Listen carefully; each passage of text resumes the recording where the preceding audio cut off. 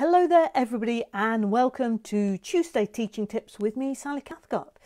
Now, today I wanted to share with you um, the joys of hardwiring in your computer to the router in your in your house. Now, I experimented with this over the summer holiday, and um, last week was my first week back of teaching for this particular autumn term, and I was hardwired in for the whole time that I was teaching. Oh, and it was just such a transformational experience. I finished my teaching still feeling quite me, quite, you know, happy. Um, I hadn't lost the signal once, the sound was great, the picture was great, everything was really, really working fine. And what was so interesting was that I had probably three quarters of all the parents say, Wow, that was so much better. We didn't have to struggle to hear you at all, and the picture was stable all the time. And I hadn't told them that I was going to be hardwiring in at that point, but they all commented really quite spontaneously. You can't hear me. Okay. And saying that, I was trying to. I've unplugged. Good job. I I looked. Can you hear me now? I'm hoping. I'm I haven't tested my sound. Let's turn that sound up. Can you hear me now? I'd love some reassurance that you can hear me. Um, so please just, just let me know whether you can hear me now or can't hear me. But I'll start again by saying that um, I was, I hardwired my computer in to the internet. Nina, that's thank you for affirming that you can hear me. Um, I hardwired my computer into the internet and last week's teaching was just a revolution in terms of how easy it felt, how natural it felt. I could see them, my picture was so clear, the sound was really good as well.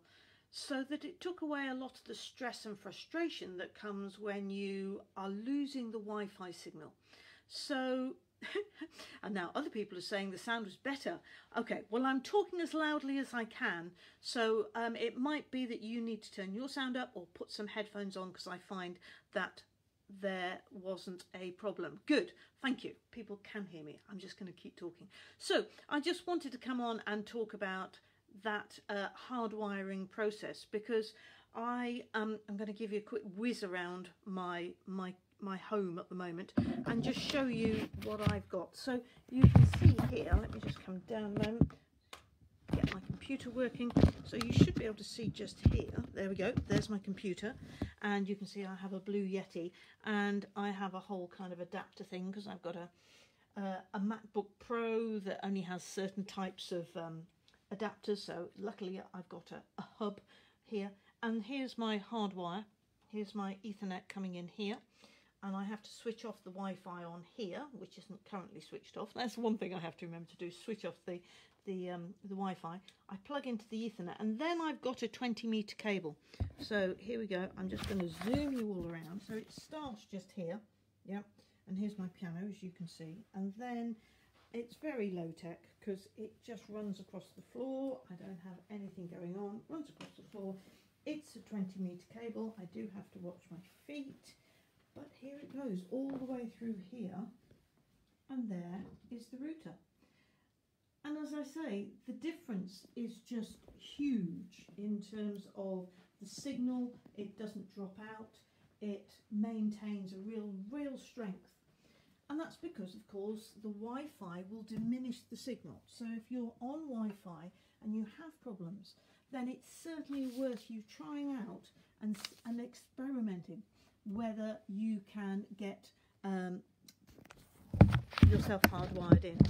You do need to do it via the computer. Um, and again, you know, I know not for everybody is that possible, but if you can use a computer to um, a laptop to um, deliver your lessons with, it is it is better. It is it is uh, uh, as I say, it's the way you can hardwire in. Um, and that's all I wanted to say really today was just say if you haven't tried it, if you are struggling with Wi-Fi and if you're on a computer, do give it a go. I know it's not always possible because sometimes, I mean, I think my router's quite a long way away, but I know for somebody else, you know, they were saying it's several rooms away. Well, you can get um, you can get very, very long router cables. You really, really can, Ethernet cables. Um, just go onto Amazon, they're really not expensive. They are really very reasonable. And um, I would absolutely recommend that you give it a go because I think here in the UK we'll I don't know how long. I hope that you'll all be able to keep continue teaching face to face for as long as you can because the children need it. But if there comes a time where you have to go back online, give it a go. It's really worth trying it out. So that's the end of today. Um, I just wanted to say that next week I'm going to be spending a bit long, actually, a bit longer, I think, with the Tuesday teaching tips, and I'm going to be discussing the ABRSM performance grades, or indeed any kind of exam who that you're going to be recording.